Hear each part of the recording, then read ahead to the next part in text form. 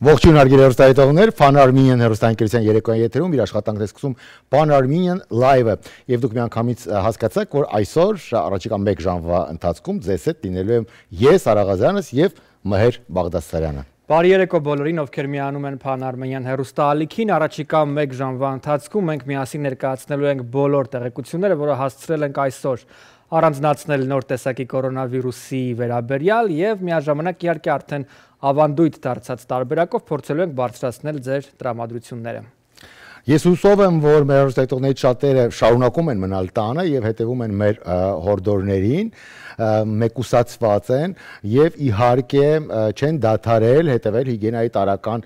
կանոններին։ Կան մարդիկ, ովքեր, չգիտես թե ինչու, մի փոքր թուլացել են եւ կարծում են, որ եթե իրենց ընկերների կամ հարազատների շրջանում չկան վարակվածներ, ապա պետք է ավելի մատների արանքով նայել այս վարակին, սակայն այդպես չէ, հարգելի բարեկամներ։ Իհարկե թվերը շարունակում են աճել, պետք է նկատել, որ մահացած մահվան ելքով հիվանդների թիվը հնարավորինս իջնում է, մանավանդ եվրոպական շատ երկրներում, սակայն սա դեռ ազդակ չէ, որ պետք է մենք լինենք հանգիստ եւ պետք է ավելի թեթև նայենք այս վարակին։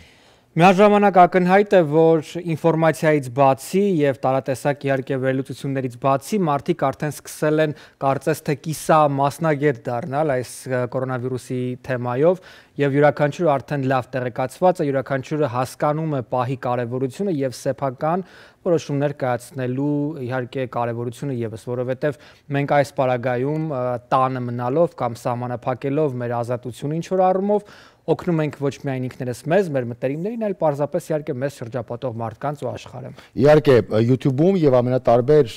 ալիքներում, ինտերնետային հայտնվել են տեսանյութեր, որտեղ մասնագետները ճակերտավոր նշում են, որ այս վարակին պետք չէ լուրջ վերաբերել, վերում են ամենատարբեր տարատեսակ թվեր, համեմատություններ են ամեն անում ամենատարբեր տարիների եւ ամենատարբեր վարակների հետ։ Եկեք դատողություններ չանենք եւ չշտապենք շտապենք դառնալ վարակաբան կամ մասնագետ, եկեք հետևենք այն տարական կանոններին, որոնք առաջարկում են անել մասնագետները, բժիշկները։ Հետագայում հետոն արդեն ցույց կտա, թե ով էր ճիշտ, ով էր սխալ, որտեղից եկավ այս վիրուսը, ինչպես այն տարածվեց, ինչպես վերածվեց պանդեմիայի եւ այլն եւ այլն։ Սակայն այսօր պահը չափազանց լուրջ է եւ խնդրում ենք դրան վերաբերել չափազանց լուրջ, եթե մանավանդ ձեր բնակարանում, ձեր տանը ձեզ հետ միասին ապրում են տարեց մարդիկ։ Այո, արա իսկապես դու ճիշտ ես, որովհետև բազմաթիվ կարծիքներ, բազմաթիվ տեսակետներ, արդեն ֆանտազիայի անգամ ժանրն անցնող վերլուծություններ են այդ առումով իհարկե առաջ գալիս, մարդիկ ամենատարբեր քննարկումներն են իրականացնում ինչպես իրենց տան, այնպես էլ սոցկայքերում եւ տարբեր ֆորումներում։ Իրականում, ինչպես Սարան նշեց, ժամանակը ամեն ինչ ցույց կտա եւ պարզապես պետք է հետևել պաշտոնական լրատվությանը։ Նաև նշենք, որ այս օրերին ֆանտաստիկ եւ հիանալի աշխատանք է իրականացվում ինչպես առողջապահական ոլորտի ներկայացուցիչների, այնպես էլ մեր կյանքի եւ անվտանգության ոլորտը վերահսկող մարդկանց, այսինքն ոստիկանության աշխատակիցների կողմից, նրանց կատարած աշխատանք իսկապես բարձր եւ գնահատելի է այս օրերին հատկապես եւ վստահ եմ, որ մեր հեռուստադիտողներից յուրաքանչյուրն էլ գնահատում է նրանց կատարած աշխատանքը։ Այո, ես երկու օր առաջ տեղադրեցի իմ Facebook-ում մի շատ հուզիչ նկար եւ բնականաբար պատմության մասին էլ գրել էի մանրակրկիտ շատ հակիրճ պատմեմ քեզ եւ մեր հեռուստայտողների դեպքը տեղի էր ունեցել Գրենդերից ոչ այնքան հեռու գտնվող Պաստադինա Չապազանց հայաշատ քաղաքում եւ շատ գեղեցիկ քաղաքում բանկերից մեկ էր այցելել 92 տարեկան մի ամերիկացի պապիկ եւ փորձել էր դրամ կանխիկացնել բարձվել էր որ նրա ID card-ը driver license-ը ժամկետանց է եւ նրան բնականաբար հրաժարվել էին մատուցել ծառայություն։ Պապիկը մի փոքր դժգոհել էր եւ ձայնը բարձրացրել էր, աղմուկ էր արել, բնականաբար բանկի աշխատողը զանգել էր ոստիկանություն եւ ոստիկանությունից ժամանել էր սպա ոստիկանության եւ բնականաբար ուրիշ երկրներում երևի թե կամ ուրիշ դեպքերում կամ ուրիշ ժամանակներում երևի թե պապիկին դուրս կհրավիրեին, բերման կենթարկեին, որովհետեւ ի վերջո բանկ է եւ չափազանց կարեւոր օբյեկտ է, որը պահպանվում է հատուկ ռեժիմով։ Սակայն արի ուտես մեր, որ ոստիկանը դիմել էր մեկ ուրիշ քայլի, փաստորեն մտածող ոստիկաններ եղել եւ պապիկին տարել էր DMV նրա համար շատ արագացված ռեժիմով անել էին ID card, որից հետո պապիկին բերել էր բանկ եւ դրամը կարողացել էր պապիկը կանխիկացնել եւ իր բանկային գործարքը կատարել, որից հետո գոու երջանիկ գնացել էր տուն։ Չափազանց հուզիչ պատմություն, թվում է թե եւ միջև երկնքից երեք խնձորներ կընկնեն, մեկն ասողին, մեկը պատմողին եւ մեկն էլ իհարկե լսողներին։ Առաջարկում եմ անմիջապես կապ հաստատել այսօրվա մեր առաջին հյուրի հետ, ով ներկայացնում է Գլենդելի ոստիկանությունը։ Էդգար Զաբունյանն է, Գլենդելի ոստիկանության սպամ է այդ ուղիղ կապով այժմ հարցազրույցի համար։ Բարի երեկո Էդգար, նախ շնորհակալ ենք կապի դուրս գալու եւ առհասարակ քո ու քո գործընկերների կատարած պատասխանատու աշխատանքի համար։ Իսկապես այն բարձր գնահատելի է եւ մեր եւ վստահ եմ նաեւ մեր հերոստատիտողների կողմից։ Շնորհակալություն։ Էդգար անմիջապես անցնենք առաջին հարցին, որոնք են անվտանգության կանոնները, որոնք որոնց պետք է հետևեն Գլենդելում բնակվող մարդիկ եւ առասարակ իհարկե նաեւ այլ հատվածների։ Երևի թե կրկնություն կնի ոնց մեծամասնությունը վերջին ամսի պես ամսվա ընթացքում շատ լսած կլինի նույն բանը չասեմ, բայց Գլենդելի բնակչության բնակչությունից պահանջում է կրել բժշկական դիմակներ, խանութները եւ այն ռեստորանները, որոնք որ սպասարկում են քաղաքացիներին, բոլոր աշխատողների բոլոր ներսուդուսանալու ընթացքում խնդրում ենք բոլորը ունենան բժշկական դիմակներ։ Դա ոչ թե ընտրության հնարավորություն ենք տալի մարդկանց, այլ դա պարզապես պարտադիր է ու հնարավորին չափով բնականաբար եթե հնարավորը կարողանան պահպանել սոցիալական հեռավորությունը միմյանց հանդեպ որը որ վերջին ժամանակներում ոնց որ նոր դուք ասացիք ժողովրդի գնալով մի քիչ ավելի մատների արանքով է սկսում նայել այդ ամեն ինչին վերջին երկու շաբաթվա ընթացքում կարող եմ ասել եւի Էդգար ողջույն, շնորհակալություն ժամանակի համար եւ ուրախ ենք, որ հնարավորություն ենք կապաստատել քեզ հետ հետաքի իմանալ COVID-19-ի հետ առնչվող ամենաշատ հանդիպող իրավախախտումները կամ խախտումները որոնք են, որոնց դեմ հանդիման եք դուրս գալիս անընդհատ դուք ոստիկանության աշխատակիցներդ։ Արայք ջան, ի նկատի որ երբ եթե քաղաքի 95%-ը բիզնեսները փակ են եւ բաց են միայն մաթերիային խանութները կամ ընդհանուր խանութները, հիմնականում խնդիրները մարդկանց խանութ գնալը առանց դիմակների։ Գնում են խանութների պահանջում են, որ հաճախորդներին դիմակներով ներս մտնեն, ժողովրդի մի մասն եկա գնում է խանութ, չի ուզում դիմակ դիմակ ներս գնա։ Խանութ սեփականատերերը զանգահարում են ոստիկանություն, դիմում ենք այնտեղ փորձում ենք երկու կողմերին բացատրենք, որ դա խանութի տիրոջ ընտրությունն է Կանթի տիրոջանտրությունը չի դիմակով ներս մտնես թե չմտնես, դա պարտադրված է ընդհանրապես քաղաքապետարանի կողմից։ Հիմնականում խախտումները նկատվում են խանութների դիմաց հերկանգնած մարդկանց մեջ։ Լավ, ինչ կարող է լինել այն մարդկանց հետ, Էդգար, ովքեր խախտում են օրենքը, այսինքն ինչ է ոստիկանության իրավասությունը, նրանց պետք է ձերբակալեն, տուգանեն, որն է լուծումը հարցի այդ առումով։ Ծայրահեղ դեպքերում ցանկացած մարդ հնարավոր է ենթարկվի վարչական տուժի, բայց ցանկացած ոստիկան փորձում է խուսափել դուգանելուց անձանց։ Փորձում ենք ընդհանուր հայտարարել գանք բացատրենք, հասկացնենք, որ ոչ միայն իրancs լավի համար է դիմացի անձնավորության պաշտպանվելու համար ենք խնդրում դիմակները կրել։ Եթե դու հիվանդ ես, հիվանդությունը շատ կարող շատ արագ կերպով կարողա տարածվի թե խանութի աշխատողին, թե շարքում կանգնած դիմաց հերթում կանգնած մի ուրիշ անձի։ Փորձում ենք չթողնենք հաս սիտուացիան հասնի այն этаպին, որ արդեն պետքա ձերբակալություն լինի կամ վարշական տուրջ։ Հասկանում ենք, որ ներկայությամբ ժողովրդի մեծամասնությունը աշխատանքի չի գնում, ինչ որ ձերբակալել կամ վարչական տուժ տուժի ենթարկելու դեպքում մեծ ֆինանսական ճգնաժամի մեջ մարդիկ կարող են ընկնել։ So փորձում ենք ինչ հնարավորին չափով թողենք սիտուացիան հասնի այդ այդ այդ ստադիայի, որ որևիցե մեկը ձերբակալվի կամ դուգանվի։ Կարծում եմ մարդկանց շատ հատվածը հետևում են stay home order-ին եւ կամած-կամած կառավարության ներկայացուցիչներն խոսում են արդեն համանախապակումները этаպներով ուրեմն վերացնելու մասին։ Ես երեք իմացա, որ օրինակ Costco-ն հատուկ որոշում է ընդունել Costco ցանցը առևտրային խանութների, որ արկել են բոլոր այն մարդկանց մուտքը խանութ, ովքեր չեն կրում դիմակներ։ Նաեւ Starbucks ցանցը ուզում է արդեն բացել իր սրճարանները ինչ որ հատուկ ժամերի եւ հատուկ պայմաններով։ Կխնդրեի մեկնաբանել, արդյոք այս ամենից հետո, երբ համանախապակումները մի փոքր մեղմանան, խանութի աշխատողները իրավունք ունեն մերժել սպասարկման համար այն քաղաքացիներին, ովքեր չեն հետևելու այս օրենքներին, ասենք առանց դիմակի կմտնեն Starbucks կամ որևէ մթերային խանութ։ Արեգ ջան, եթե կյանքը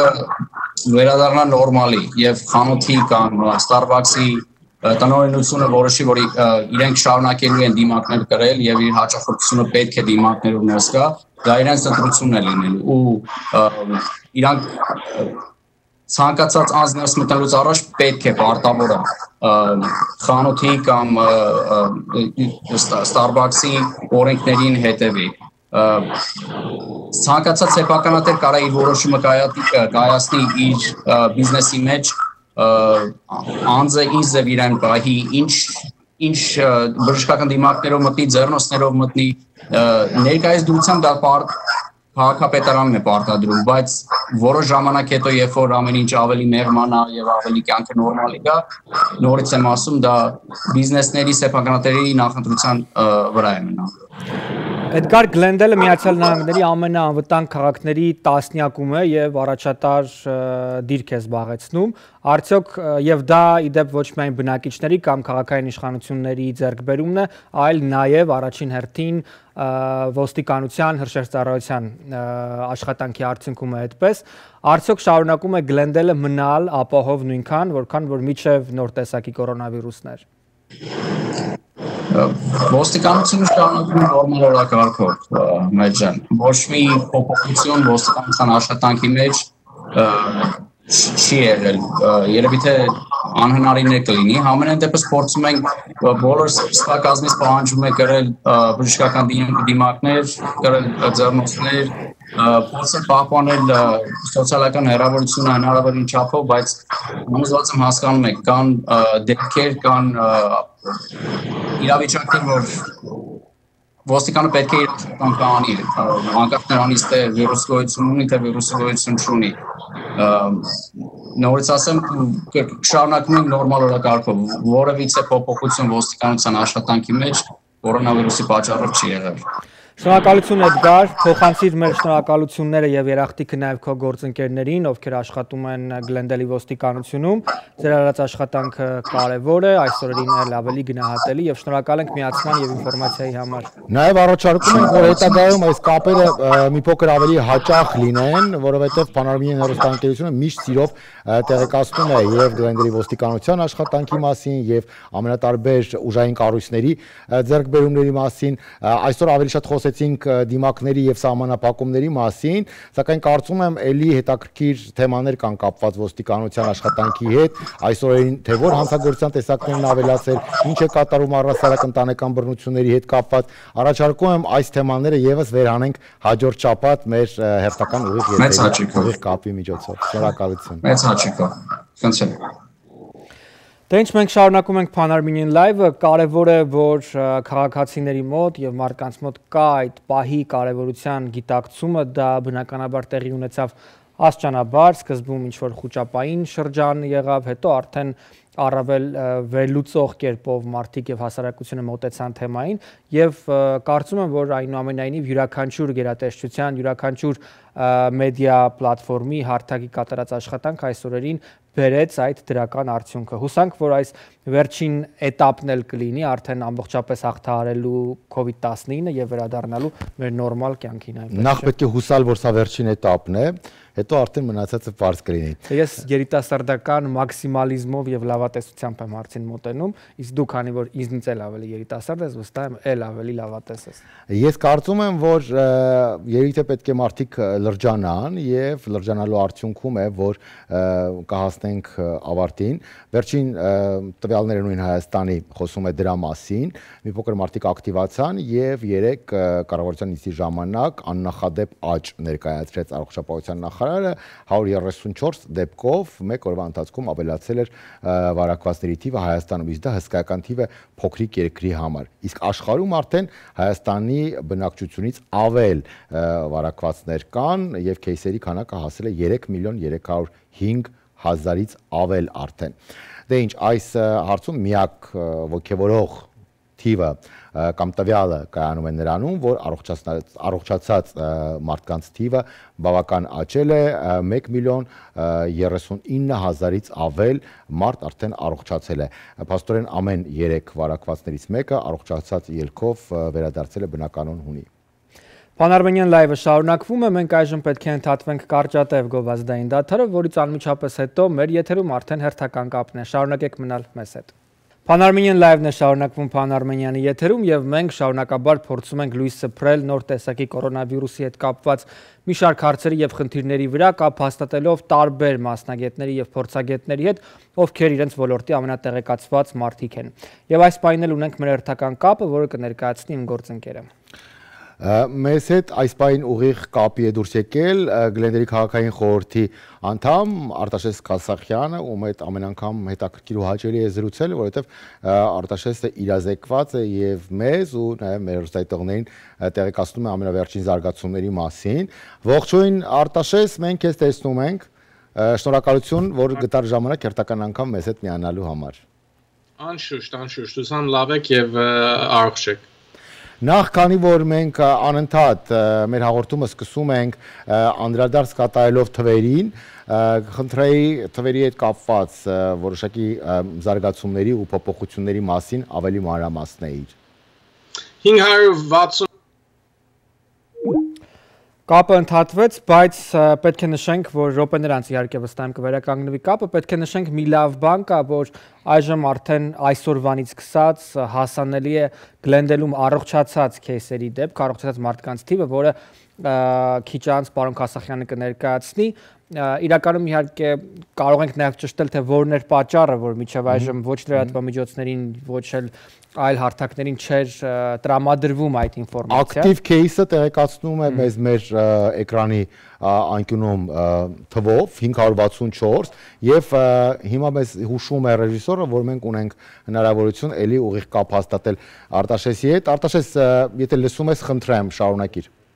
Գնայք, չգիտեմ ինչ է լինում, սա է հետևանքներ տնից աշխատելից եւ այս կապի, այո, եւ եւ ժամանակն է նոր համակարգիչի հա, թվերի համար դուք ինչպես նշեցիք, լսեցի, որ դուք ասում եք 564, 568 եւ կասեի եւ մինչեւ վաղը մյուս օրը արդեն 600-ն էլ կանցնի հիվանդների թիվը, բայց հիշենք, որ սա ամենը մի ամսվա ընթացքում է մենք հավաքվել մինչև հասել մինչև այս թիվը եւ ընդհանրապես ես հավատում եմ որ այդ կորը հարթեցնելու նպատակին մենք հասել ենք դրանից բացի մենք վերջապես ես հրշեջի ղեկավարությունը որ ղեկավարում է այս ամբողջ դրության ամեն տեսակետից աշխատում են որ մեզի տեղեկություններ հասցնեն հայտարարեց մեզի երկշաբթի օրվա ժողովին որ գոնե 138 հոգի այժմ բուժվել է Գլենդելի հիվանդներից, նրանք որ նշվել են 138 հոգի բուժվել է, այլ սիմպտոմներ բան չունեն, որը շատ լավ նշան է։ Դժբախտաբար 25-ից ավել կարծեմ մահ ենք ունեցել, եթե չեմ սխալվում, բայց հիշենք, որ միջին տարիքը հանգուցյալների, որի համար ցավակցում ենք եւ ցավակցում են ցավակցություն ենք հայտնում իրենց ընտանիքներին, միջին տարիքը 81 տարեկան է, որ և, ասենք մենք ովևէ տեսակ կյանքի կորուստը ցավալի է, բայց սա գոնե մեզի ցույց է տալիս, որ այն մարդկանց, որին սա ամենածանր ձևի է ազդում, տարեկավորներն են, դրա համար մենք դեր հրահանգենք ենք եւ բոլորին ուզում ենք հիշեցնել, որ եթե ունեք տարեցներ ձեր հետ ապրող, եթե ուզում եք այցելել տարեցներին, մի այցելեք դեր մինչև որ մենք կարողանանք հասկանանք թե ինչպես կարող ենք պայքարենք այս վիրուսի դեմ։ Պարոն Քասախյան, ո՞րն էր պատճառը, որ միջև այժմ մեզ չէր հաղորդվում Գլենդելում առողջացած մարդկանց թիվը։ Ո՞րն էր խնդիրը։ Միայն կարող եմ ենթադրեմ, թե ինչ էր պատճառը, կոնկրետ մեզի չասեցին, բարձրապես ասում էին դժվար է ստանալ տվյալները։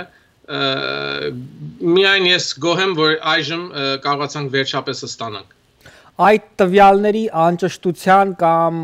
միջև վերջ շտրամադրելու հանգամանքը որոշակիորեն կասկած է նաև մարդկանց մոտ առաջանում։ Կան նաև կենցաղային մակարդակի քննարկումներ,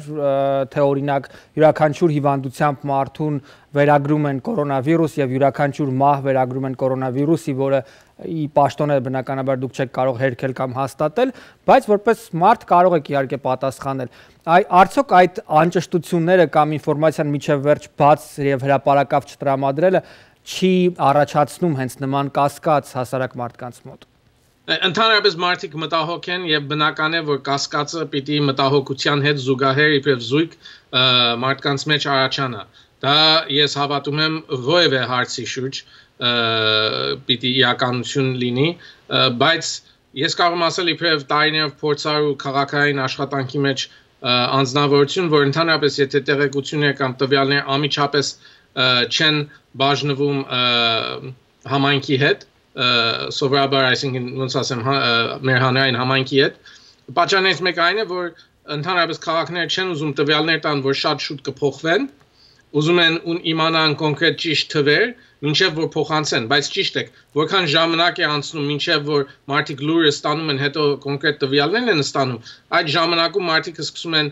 մտածել, թե ինչ կա սխալ, ինչ ինչու չեն տվել այս թվերը մինչև հիմա, բայց ծանոթ այսպես ասեց, ես մեկը գիտեմ, որ հիվանդանոցում է եւ այլն բայց իբրև քաղաքապետարանի օրինակ ես եւ քարտուղարն է եւ ընտրություններ ենք մենք կատարում ընդհանրապես ընտրությունից հետո երբ ավելնորդ քվեներ կային կամ քվեաթերթիկներ կային որ դեռ չեն հաշվել որովհետեւ պետք է համապատասխանենք մարդու ստորագրությունը իա մյուս ստորագրության հետ արձանագրության Եվ գիտենք, որ մարդիկ արդեն գնացել էին եւ ընտրել էին, պետք է այդ գրքույկների ստորագրություններն էլ հավաքենք։ Մենք չենք ամիջապես հենց ընտրության օրը կամ հաջորդ օրը հայտարարում, որ դեր 3000 քվ կա հաշվելու, ինչեւ մենք ամեն ինչը կարողացանք կոնկրետ հաշվենք եւ մենք վստահ լինենք թվերի մասին։ Ուրեմն ես կասեի, որ եթե մարդիկ անհամբեր են կամ ուզում են անպայման այդ թվերը, հիշենք, որ մեր բոլոր աշխատողները շատ տարբեր հարցերով են զբաղված ներյալ այս կորոնավիրուսի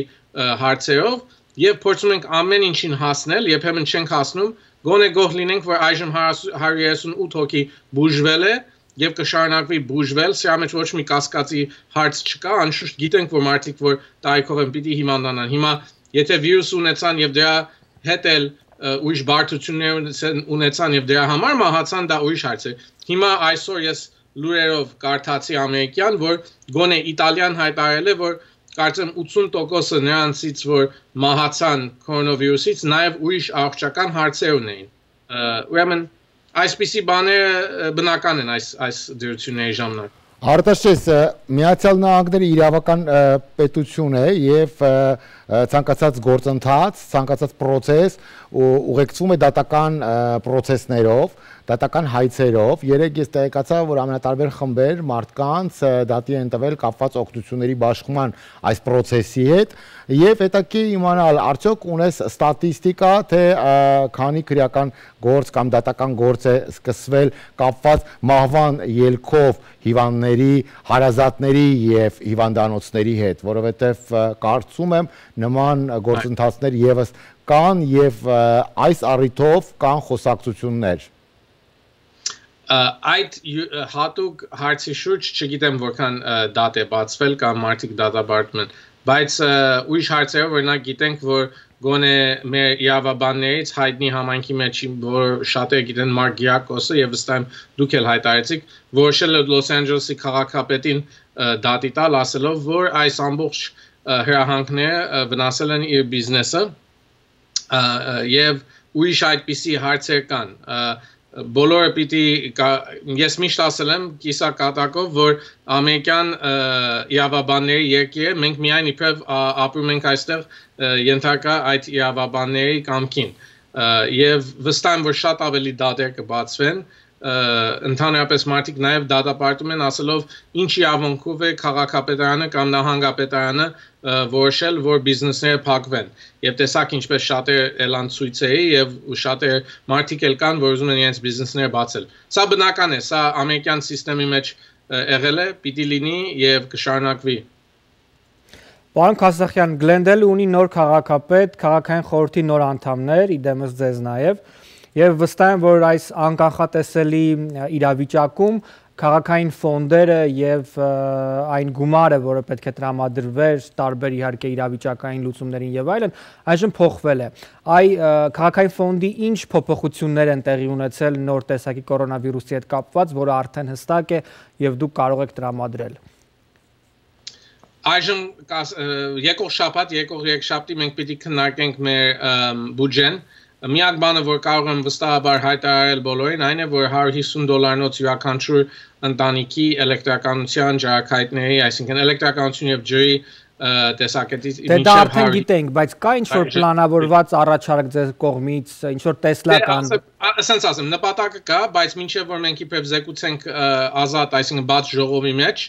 սխալ կլիներ, որ ես հայտարարեմ, թե մի բան կա կամ չլինի, բայց համոզված եմ, որ մեր քաղաքապետը բարոն Աղաջանյանը եւ ուրիշները աշխատելու են այդ ուղությամբ։ Բայց ձեր կողմից որպես քաղաքային խորհրդի անդամ ինչ օգնության կարիք եք դուք տեսնում, որը դուք առաջարկել եք, գուցե դա չանցնի, բայց ձեր առաջարկն է եւ ձեր ցանկությունը։ Իմ առաջարկը կարող եմ հետեւյալը ասեմ։ Ես ուզում եմ տեսնեմ անձնական օգնություն յուրաքանչյուր փոքր բիզնեսների, շատերը որ դիմեցին Washington-ի ֆեդերալ պրոգրամներին եւ չկարողացան ստանալ այդ օգնությունը, ես կարծում եմ մի գումար պետք է հատուցվի քաղաքի կողմից, որ կարողանանք հոգնենք այդ բիզնեսներին, մանավանդ փոքր բիզնեսներին, այդ բիզնեսները, որ ասենք թե 15 աշխատող ունեն կամ ավելի պակաս, որ միջոցներ չունեն, ուժեր չունեն, որ բանկերից կարողանան ֆինանսապես օգնություն ստանան եւ այդ մյուս բաներից օգտվեն։ Դրանից բացի ես ուզում եմ տեսնեմ նաև շարունակվի օգնություն հասնել վարձի տեսակետից ոչ միայն վարձակալներուն, բայց նաև այդ տանտերերուն, որ չեն կարողացել բոլորին իրենց ծախսերը փակեն այս վերջին 40 օրից ավելի, որ բոլորին պարտադրել ենք իբր տուն մնան եւ գործից զրկվեն։ Անշուշտ պետք է մենք հիմա պլան ստեղծենք այդ ամենը անելու, գումարը տեսնենք թե որքան կարող ենք հատուցենք այդ տեսակօգնության, բայց սրանք գաղափարներն անշուշտ մենք պետք է քննարկենք եւ որոշենք թե մանրամասնությունները ինչ են լինելու։ Արտաշես մենք ներկայացրել ենք Լոս Անջելեսի որոշման մասին, որ նախատեսվում է հազարական դոլարներ տրամադրել բնակարանների ամսավճարները մեղմելու համար։ Արդյոք սա վերաբերելու է նաև Գլենդելի բնակիչներին, թե դրա համար, քանի որ Գլենդելը առանձին քաղաքի ստատուս ունի, դուք առանձին որոշում պետք է կայացնեք։ Երկրորդը, մենք պետք է առանձին որոշում կայացնենք, բայց դրանից բացի հիշենք, որ նախքան Լոս Անջելեսը որևէ քայլ վերցնելը Գլենդելի քաղաքապետարանի խորհուրդը նախկին խորհուրդը որոշել էր որ մի հատված մեր ժողովրդին որ ահրելի ճնշումի տակ է վարձերի տեսակետից մի պրոգրամ ստեղծեց որ ամսական 300 դոլար եթե չեմ սխալվում պիտի գումար հասնի յուրաքանչյուր այդ տանը ընտանիքին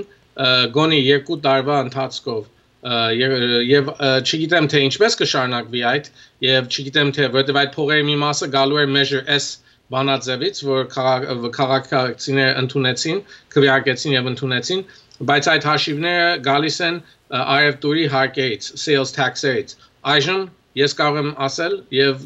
մեծ գաղտնիք չի, որ այդ sales tax-ը արևտուրի հարկերը պիտի ստանան մեծ հարված եւ քաղաքի բյուջեն պիտի ստանա մեծ հարված։ Անկախ դրան մենք պարտականություն ունենք օգնելու քաղաքացիներին, պարտականություն ունենք օգնելու մեր տեղական փոքր բիզնեսներին եւ պիտի աշխատենք այդ նպատակներով։ Եկող երկշաբթի երբ սկսենք առավոտվա ժամը 9-ին քննարկելը բյուջեն, որ ամսվա հունիսի սկիզբին մենք իբր մի մարմին բյուջեն անցկացնենք, ասենք pass the budget, հայերենով չգիտեմ, դուք ավելի ճիշտ գիտեք ճիշտ բառը օգտագործել, բայց այսինքն ընդունենք քաղաքի բյուջեն հաջորդ տարվա համար։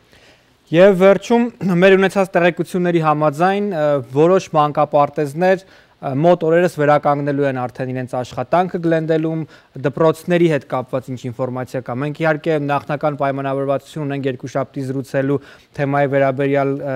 տեղյակ Վիվիան Էկչյանի հետ, ով պատասխանատուն է, բայց այնուամենայնիվ վստահ եմ դուք էլ այդ քննարկումներին մասնակցած կլինեք։ Երբ կվերադառնան դպրոցականները դպրոց եւ երբ մանկապարտեզները կբացեն իրենց դռները։ Ճիշտն ասած ես ինձի այդ խոսակցությունների մեջ ես մաս չեմ կազմել, անկախ որ ես միշտ շեշտել եմ եւ անցյալ շաբաթ էլ այս երեքշաբթի օրն էլ շեշտեցի, որ մենք պետք է արդեն պատրաստվենք մայիս 15-ից հետո վերականգնեցնել քաղաքը, ոտքի կանգնեցնել մեր ժողովրդին եւ բիզնեսներին եւ հիմակվանից սկսել այդ պլանը պլանով սպառվելը, որին մաս է կազմում եւ ես նաեւ շեշտեցի դբրոցների հետ զեկուցել եւ խորհրդակցել թե ինչպես դա պիտի իրականանա հետեւյալ պատճառով եւ վստահ եմ դեր ձեր հեոստատիտողները կհասկանան թե ինչի մասին է խոսքը որովհետեւ կարող է նույն վիճակի մեջ են որ որ ես եմ եւ իմ ընտանիքը եթե այսօր բացվեց քաղաքը եթե բոլորս եթե ես ինձի ասվեր որ պիտի հետ գնամ աշխատանքի որովհետեւ իմ զավակի դբրոցը փակ է մինչև տարվա վերջը եւ ամառվա համար չգիտենք ով կարող է հոգ տանի նայ երբ մենք երկուսս էլ աշխատում ենք ես եւ կինս, մենք մեր ձեռքերը կապված են, մենք չգիտենք թե ինչպես մենք կարող ենք վերադառնալ աշխատանքի, որտեղ նշանակում է մեր ընտանիքի մեջից մեկը կամ երկուսը պետք է տունը մնան մեր երեխու հետ։ Ուրեմն մենք պետք է հասկանանք, թե դպրոցները բացվելու են, ամառվա դպրոց պիտի լինի, քաղաքը պիտի ունենա ամառվա ծրագրեր։ Այդ ծրագրերը ապահով լինելու են, ֆիզիկապես հերավորության օրենքները պիտի պահպանվեն, երեխեքի հետ շատ դժվար է այդ օրենքները հսկելը այս բաներն որ պետք է ես հա, համոզված եմ պետք է այսօրվանից արդեն ոչ թե այսօրվանից ճիշտ ասած երեկվանից պետք է արդեն սկսեն քննարկվել որ դրամաբանական հարցեր են որ պետք է մենք լուծումներ գտնենք Եվ հույսով եմ, որ երբ նաև դոկտոր Ակչյանը ձեր հետ հանդիպի եւ երբ մեր քաղաքի աշխատողների հետ հանդիպեցին,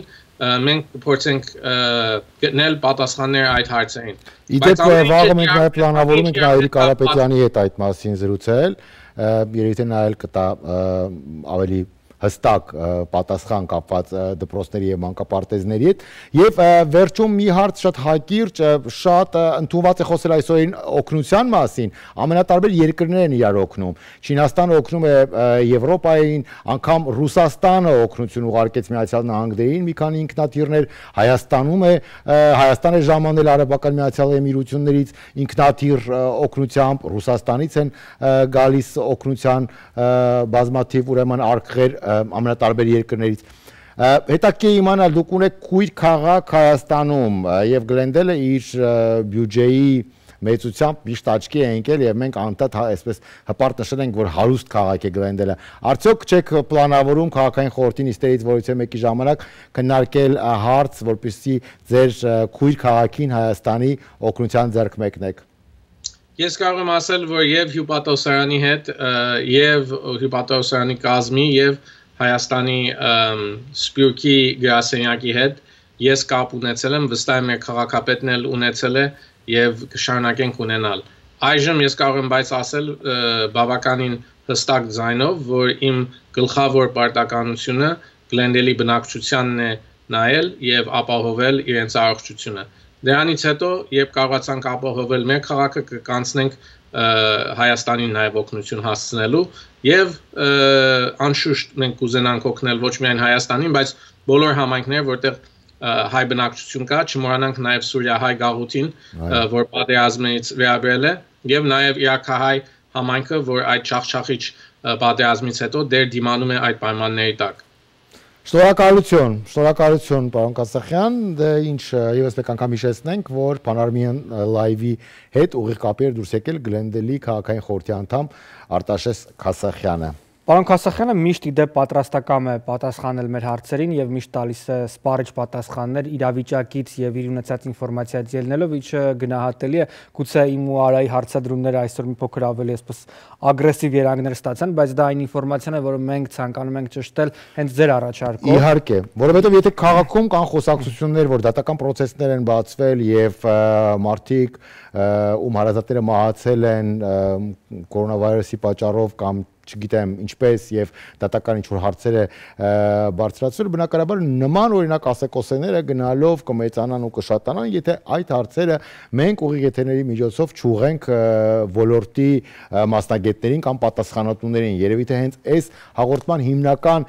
նպատակներից մեկն էլ տեղեկացնելն է եւ ասեկոսեները վանելն ու ցրելն այո որովհետեւ իրականում մի նժարին դրված է մարդկային խոճապ չառաջացնելու մեծ ցանկությունը բայց բայց մյուս նժարին էլ այդ ինֆորմացիան չնկատել չի լինի, այնպես որ պետք է այդ երկու նժարները ճիշտ բալանսի բերել, որpիսի համ ստանանք ինֆորմացիա, համ հավելյալ խոճապ չառաջացնենք։ Կարճատև դաթարից անմիջապես հետո մենք արդեն կարող ենք միասին ուրախանալ, զվարճանալ եւ փորձել ապահովել մեր հաղորդման արդեն ժամանցային հատվածը։ Բարեկամներ Panoramian Live-ը շարունակում է իր ընթացքը եւ ինչպես գովազդային դատարից առաջ Մեհերը նշեց, արդեն ժամանակն է որպեսի մենք անցնենք մի փոքր ժամանցային հատվածին մեր հաղորդման եւ մեր մշտական հերոստայտողները նկատել են, որ մենք ես եւ Մեհեր Բաղդասարյանը բարբերաբար կապ ենք հաստատում Լոս Անջելեսում բնակվող ամենատարբեր հայտնի ու սիրված անունների հետ, մարդկանց հետ, ովքեր իրենց արվեստով անընդհատ ներկայացել են մեզ եւ ձեզ ձեզ եւ նրանց արվեստի երկրպագուներն եք դուք հանդիսանում։ Այսօր բացառություն չէ եւ Panoramian Live-ի հետ ուղիղ կապի են դուրս եկել չափազանց ճանաչված ու սիրված երաժիշտներ հայր ու որդի Ռուբեն եւ Գրիգոր Գրիգոր Հարությունյանները,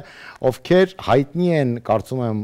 բոլորիդ եւ կարծում եմ ձեզանից շատերը հանդիսանում են նրանց ներկայացրած արվեստի երկրպագուները։ Ողջունում ենք ձեզ հարգելիներ եւ հուսով ենք լավ եք։ Ողջույն Արայիկ ջան։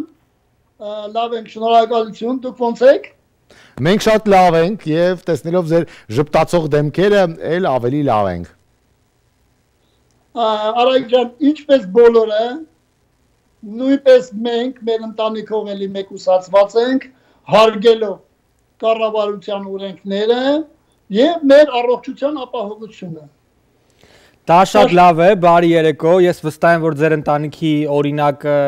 մեր այլ հերոստատողների համար էլ օրինակ է եւ թույլ տվեք հարցնել, որոնք են հիմնական դժվարությունները ձեզ համար այս օրերին։ Բացի նրանից, որ չեք կարող տեսնել հաճախ ձեր ընկերներին, ինչ այլ դժվարություններ կան ձեզ համար։ Դժվարությունները մեր ջան ասեմ, որ պատրաստված ահագին համերգներ ունեինք գալիք ժամանակները վիրուսի պատճառով հետաձգվեց, որտեղ ահագին աշխատել էինք դրանց վրա։ Հույսով եմ ամեն ինչը կանցնի, լավ կլինի, նորից մենք կընկնենք նույն հունի մեջ, նույն ծրագրի մեջ, բայց ինչ խոսք մենք աշխատում ենք տանը նույն դա է մեր ամենակարևոր դրա համար զանձրություն չունենք Ռուբեն, ես մի քանի մի քանի ժամ առաջ երբ մենք խոսում էինք իրար հետ հեռախոսով եւ փորձում էինք տեստ անելու հասկանալ կապի մակրությունը, ես զարմանքով ողջեցի, որ դու շարունակում ես դասապրոցեսս on-line, հեռահար եւ աշակերտների հետ դուդուկի դասընթացներ ես տալիս ինտերնետի միջոցով։ Այս դրա մասին խնդրում եմ, որովհետեւ կարծում եմ, եթե Գրիգորի համար սովորական է դա, քո համար պետք է որ մի փոքր անսովոր լիներ տեխնիկայի վերջին հնարքներին դիմելը եւ ասենք հեռահար դասընթացներ անցկացնելը։ Բնականաբար Արայք ջան, սկզբնական շրջանում մեկ ինչ դժվարացա, բայց խնդրեցի տղաներից կարողացան այդ կապը պահել ինձ, օգնեցին տեխնիկան ես լավ հասկանամ ու երեխաների հետ ում հետ որ ես պարապում եմ, իրանք էլ շատ լավ են զգում։ Կարծում եմ հիմա այնքան լավ է տեխնիկան, որ ոնց որ դեմ դիմաց մենք նստած արդեն աշխատենք նորմալ բացատրում եմ բոլորին 3-4 հատ աշակերտներս ունեմ, որոնք որ on-line-ով պարապում են Իսկ հետաքրքիր է նոր ստեղծագործությունների վրա աշխատում եք, այսինքն ստեղծագործական մտնոլորտ ու տրամադրություն կա, թե այս կիսա դեպրեսիայի պատճառով որ, որևէ մեկը որևէ անգամ հավեսել չունի մի բան ստեղծելու, ստեղծագործելու։ Չի ասի Մեհեր ջան, որովհետև անելիք չունենք մենք հիմնականում մտնում եմ իմ աշխատասենյակը գոքորիս հետ միասին պարապում ենք, նորություններ ենք պրպտում, գտնում, աշխատում ենք, որ զբաղվածությունը լինի միշտ։ Ռուբեն ջան, ես հիշում եմ, որ մի ժամանակ երբ Հոլիվուդը սկսեց անընդհատ ներկայացնել երաժշտություն դուդուկով համեմված, այստեղ հայ երեխաների մոտ միանգամից բում առաջացրեց այդ գործիքի նկատմամբ հետաքրությունը եւ շատ ու շատ ծնողներ ու շատ ու շատ երեխաներ վերադառնալով իրենց ակունքներից սկսեցին սովորել նվագել դուդուկի վրա եւ դու էլ ինչպես միշտ անընդհատ շատ աշակերտներ ունեիր։ Հետաքրքիր իմանալ, արդյոք այդ հետաքրությունը այս սերնդի մոտ, երեխաների մոտ դեռևս ակտիվ է, դեռևս կա ցանկություն սովորել հայկական այդ գեղեցիկ նվագարանների վրա նվագել սովորել։ Իմ համար շատ ուրախալի է նախ ասեմ Արայիկ ջան ինչի համար, որտեվ այո, ճիշտ եք նկատել սկզբնական ժամանակները մի քիչ երեխաների մոտ пассивություն կար։ Հետո պրոպագանդան ավելի շատացավ դուդուկի համար, թե ֆիլմերի մեջ, թե ասենք հերոստատեսությունով, հաղորդումներով, անով արդեն սկսեցին դուդուկին մի քիչ ավելի շատ լայն տարածում տալ ու բոլոր բոլոր մեր հայ երեխաների մոտ իրոք շատ շատ է շատ են ուզում սովորել ինչու մենակ հայ օտարածներն էլ շատ կան Գրիգոր ջան այսօր ես որ զգում եմ որ երեխաները իրոք մեր հայկական մշակույթով հետաքրքրվում են Գրիգոր այսօր բոլորը ինտերնետում են եւ բոլորը շատ գեղեցիկ կերպով օգտագործում են սոցկայքերը, օգուտ իրենց կատարած աշխատանքի, այդ թվում նաեւ հայտնի մարդիկ։ Դու էլ միշտ գեղեցիկ գործեր տեղադրում ես եւ քո Facebook-յան էջում եւ Instagram-յան էջում։ Արդյոք հասցրել ես այս ընթացքում ավելի շատ լսարան հավաքել, որովհետեւ բոլորը կարծես թե ավելի ակտիվ են։ Այո, Մհեջ ջան, աշխատում ենք այս ժամանակներում մանավանդ անում ենք այնպես, որ նորություններ, նոր գործեր միշտ ստեղծագործենք մեր հանրության համար։ Հույսով եմ առիթ կլինի կներկայացնենք անպայման դրանք բոլորը։ Այսօր այդ առիթներից մեկն է, մենք սպասում ենք, որ հայր ու որդի Արությունյանները մի գեղեցիկ կատարմամբ հանդես գան Փանարմիան լայվի մեր հերոստայտողների եւ ինչու՞ չէ իմ ու մհերի համար։ Սիրով արժան։ Միշտ նայենք։ Նցա նովում նայենք, նազանը։ Նազին։ Thank you.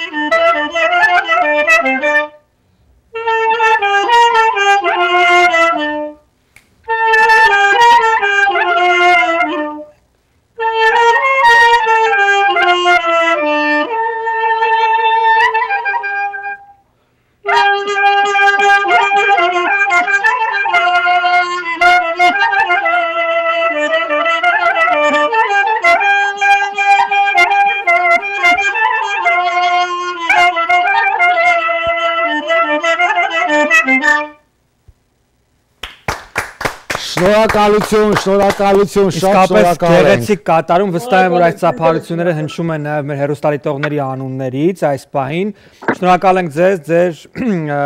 որակյալ ստեղծագործության եւ որակյալ կատարման համար։ Ես միշտ նշել եմ եւ միշտ ամեն առիթով միշտ մեծարել եմ ըստ արժանվույն Ռուբեն Արությունյանին, որովհետև Ռուբեն Արությունյանը իհարկե թույլ տվեք այս բանը եւս դրա մասին բարձրաձայնել, որ արժանի շարունակողն է այն գործի, որը սկսեցին տարիներ, տասնամյակներ շարունակ մեր երգա մեր երաժշտության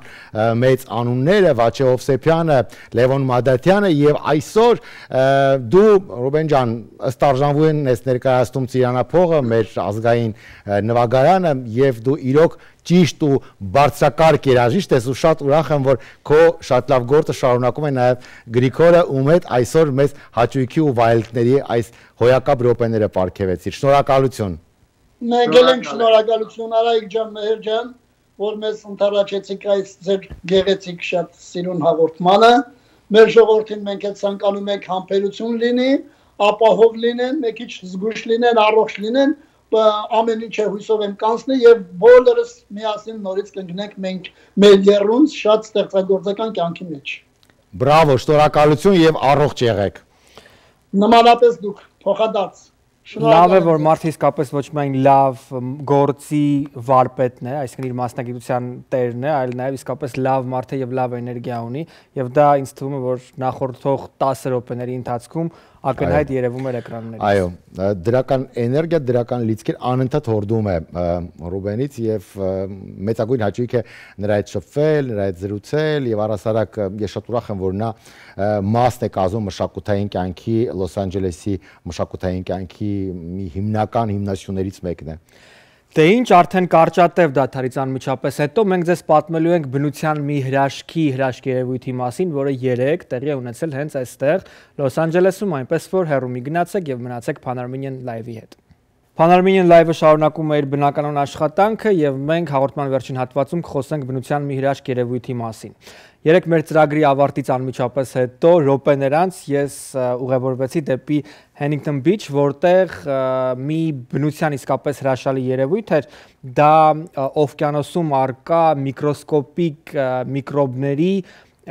բախման հետևանքով առաջացող ալիքների եւ ջրան շարժման ու տատանման հատվածում այս նեոնային լույսերի առաջացումն է, որը իսկապես եթե իմ աչքով չտեսնեի, չէի կարող հավատալ եւ անգամ իմ աչքերին չէի հավատում։ Երևույթը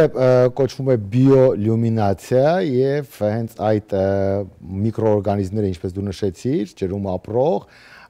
երբ շարժման մեջ են մտնում, ահա այսպիսի հրաշք լուսավորում են առաջացնում, ես այս երևույթը տեսել եմ տարիներ առաջ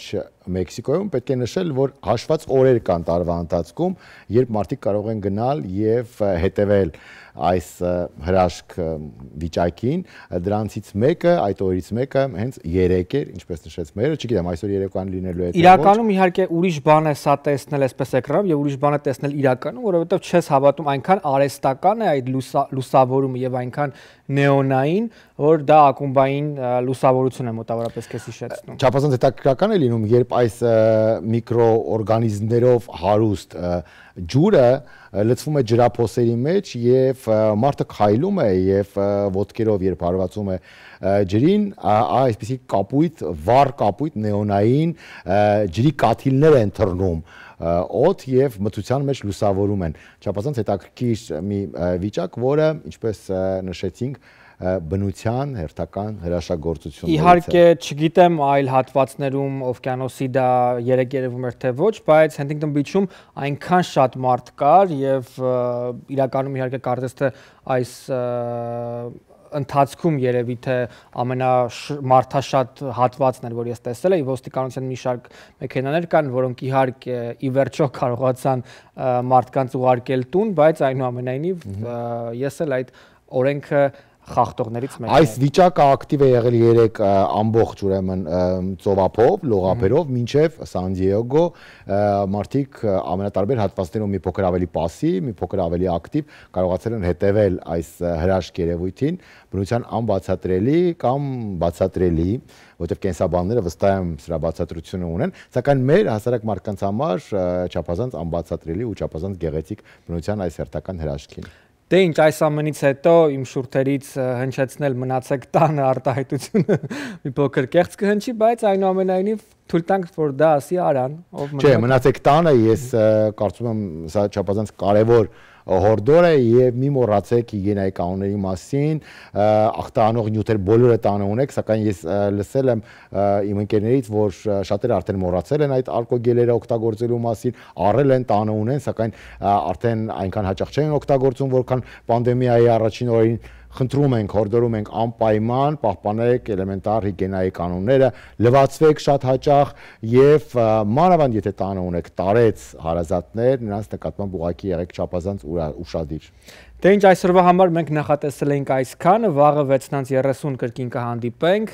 նույն ցանկությամբ եւ նույն սպասումներով։ Իսկ մեր եթերը այս պայն շարունակում է այսօր լրատվականը, որը ներկայացնում է վերջին ու ամենաթարմ տեղեկությունների շարքը։ Ցտեսություն։